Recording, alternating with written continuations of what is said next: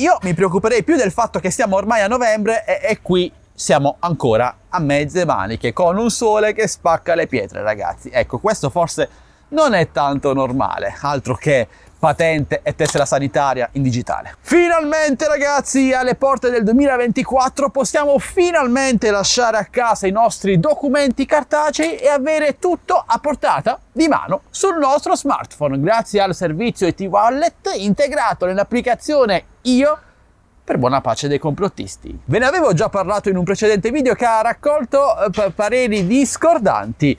Comunque è da ieri attiva ufficialmente per un numero ridotto di utenti e progressivamente per tutti, fin, per tutti i cittadini italiani fino al, ehm, al prossimo 4 dicembre il servizio IT Wallet. Nuovo servizio molto discusso che ci permette di archiviare la patente, la tessera sanitaria e altri documenti e man mano ne verranno aggiunti di nuovi direttamente su un'applicazione, quindi sul nostro smartphone. E attenzione perché i complottisti sono già in rivolta e se anche tu che stai guardando questo video dietro la tastiera sei un complottista, beh, ascolta bene. Questo nuovo servizio non è affatto obbligatorio e non sostituirà i documenti cartacei che hai sempre portato con te. Se vuoi continuare a portarti i documenti nella loro versione cartacea in tasca, nel portafoglio, sei liberissimo di continuare a farlo. Perché, lo ripeto ancora una volta, questo è un servizio digitale, non obbligatorio, ma comunque comodo e utile in previsione del portafoglio digitale europeo previsto per il 2026.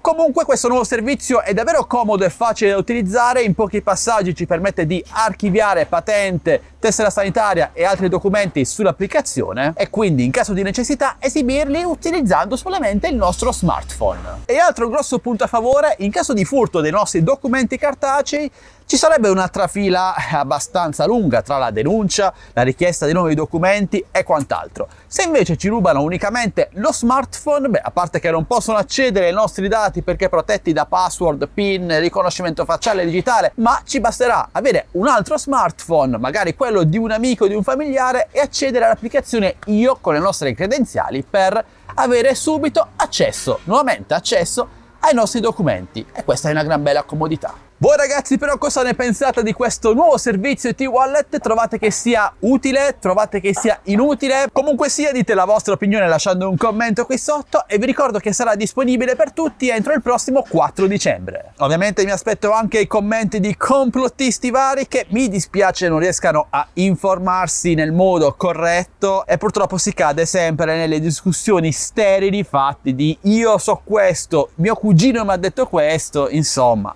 bisogna sempre informarsi correttamente perché internet, questi servizi digitali sono comodissimi, sono una cosa fantastica, ma bisogna utilizzarli correttamente. Va bene ragazzi, se questo video è stato di vostro interesse lasciate un bel like per supportarmi, condividetelo ai vostri amici e iscrivetevi al canale. Io mi preoccuperei più del fatto che siamo ormai a novembre e, e qui siamo ancora a mezze maniche con un sole che spacca le pietre ragazzi. Ecco, questo forse non è tanto normale, altro che patente e tessera sanitaria in digitale. Vabbè, alla prossima.